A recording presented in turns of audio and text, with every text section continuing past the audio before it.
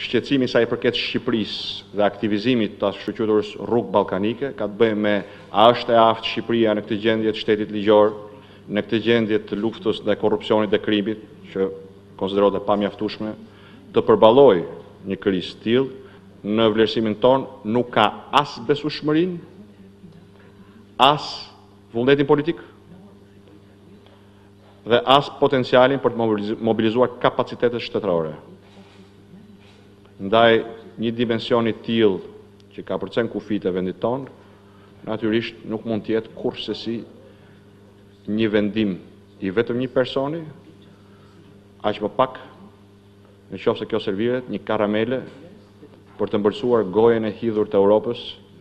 nga skandalet Tahiri, Xhafaj, dhe lufta e pamjaftueshme kundër drogës dhe krimit.